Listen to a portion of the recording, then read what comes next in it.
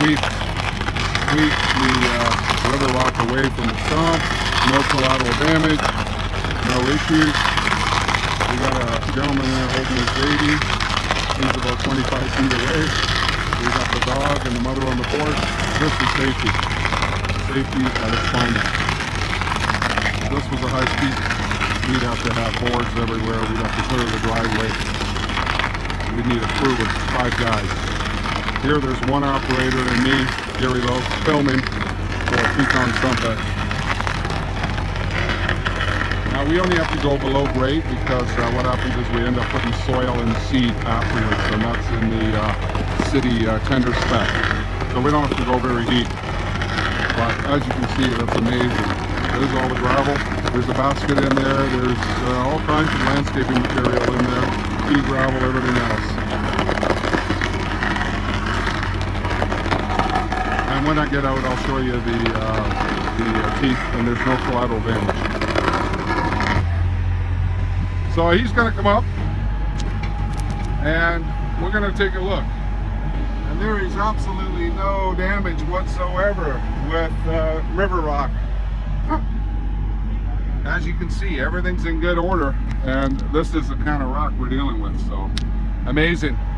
We are about to show you some operational techniques of doing stumping with the new Fecon Stumpex. Here we have an operator sitting in the machine ready to go with stumps ahead of us. He basically lifts the machine up in an idle position and he will approach the stump accordingly. The first thing he does is bring the machine to the stump and places the cutter tool cone in the center of the stump. Notice that he is in idle. Once he is in the right position, he will gear up the throttle and he will proceed to engage the stump.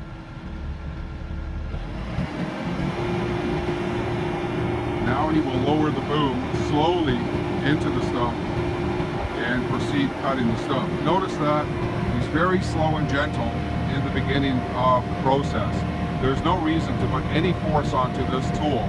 That is unnecessary and it'll only cause cone wear.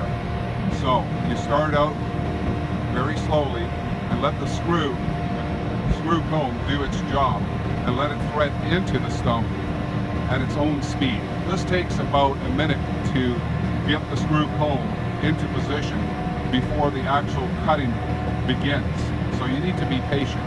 A minute is only 60 seconds. Now, as you see, you're starting to cut. The operator does not move the carrier whatsoever. The carrier stays still.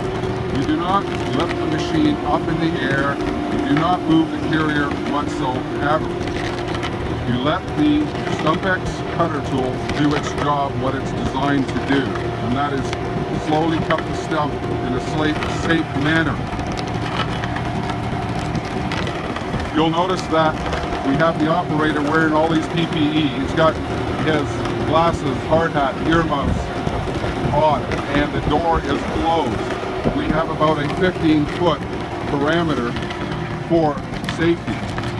Even though this tool doesn't throw objects or wood chips very far, you still need to maintain about a 15 foot safety parameter. Again, you'll notice the operator is sitting in the machine and he hits the down control every second or third full revolution. He does not pick up the machine, he does not force the tool into the stump. He lets the tool tell him when he needs to hit the down, tap the down stroke of the